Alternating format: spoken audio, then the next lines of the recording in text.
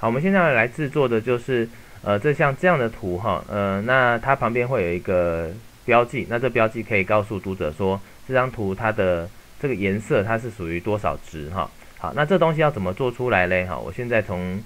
呃范例从叶子开始做好了哈。好，这个叶子我先转成八 bit 影像，然后换一下它的 LUT，我换成这样子。那接下来要加这个东西哈，那个东西呢，它的位置就在 Analyze 啊的 Tools，然后接下来我们就选择这个，好，选好之后哈，那就可以去调位置，比如说你要在上面或在下面哈，啊选接下来按下 OK，这样子就可以加入这这个东西了哈。